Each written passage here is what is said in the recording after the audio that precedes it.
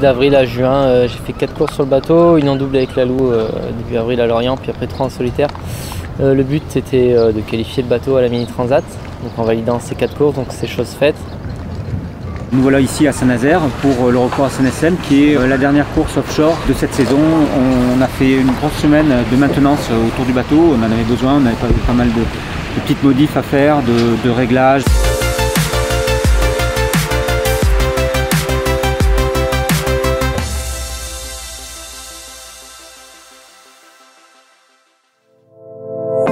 Le bateau, c'est une histoire d'équipe parce qu'il euh, y a des gars euh, et des filles euh, qui travaillent donc autour de ces projets pour arriver à lancer un skipper et son bateau sur une ligne de départ.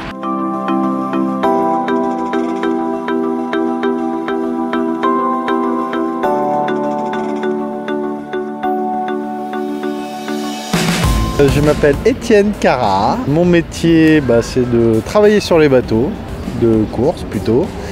Et plus précisément, sur les bateaux, je m'occupe de tout ce qui est gréement, matelotage. Ça va de l'installation des mâts au réglage des mâts. Euh, puis après, bah, la castillage, euh, bah, ça va être euh, les winches par exemple, tout ce qui est pouliage. Le matelotage, c'est de travailler les bouts donc euh, on va dire les cordes. Tout tient avec des ficelles, entre guillemets, hein. le, mât tient avec des ficelles, contrôler les voiles, tout ça, tout est en bout.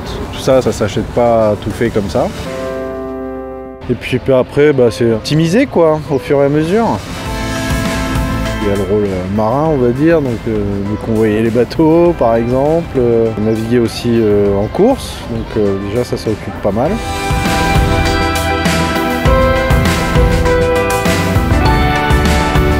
Je m'appelle Vincent Bersou, euh, je suis tout nouveau préparateur au sein de la Lou Multi. Moi je m'occuper plutôt de tout ce qui est ordre de mécanique entre guillemets et logistique. on a eu besoin de retailler le foil une bonne dimension, par exemple ça peut être ceci.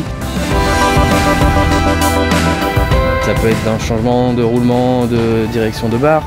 Ça va ordre mécanique, électrique. Donc euh, voilà, c'est toute autre partie que Étienne ne fait pas en fait. S'il n'y a rien de cassé, ça veut dire que pour moi c'est bien préparé. Ça fait déjà euh, depuis tout gosse que bah, je rêve d'intégrer une équipe comme euh, la Loup Multi. C'est une grande chance, donc euh, l'objectif bah, c'est d'être plus performant pour l'épreuve ultime qui est la Jaguar, être opérationnel à 100%.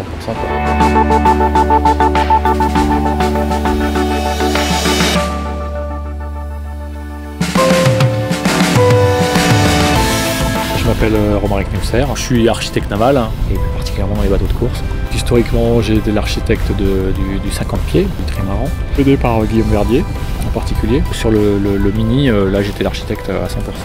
J'ai moi l'historique de, la genèse du bateau. Euh, on a tous besoin de faire évoluer les choses. Et moi voilà, je, sais d'où on part et où on cherche à, où est-ce qu'on cherche à aller.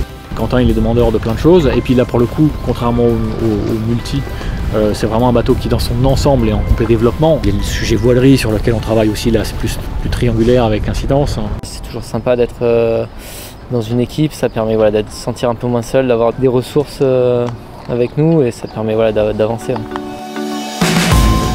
Moi c'est Raphaël Lutard, j'ai 21 ans et mon poste chez la c'est préparateur sur le Mini 50 rien que l'aile, les foils, euh, tout ça, ça met beaucoup de travail quand même. Il faut savoir qu'il y a pas mal de bouts, de poulies, euh, d'éléments en carbone qui s'usent quand même pas mal, donc il faut le temps de vérifier tout ça.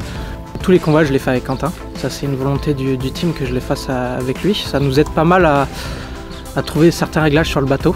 Moi, je vois mon rôle que le bateau, faut qu'il arrive entier et le plus simple possible euh, de l'autre côté. quoi. C'est faciliter la vie à Quentin, c'est l'aider dans sa démarche, dès qu'il a un souci, être là.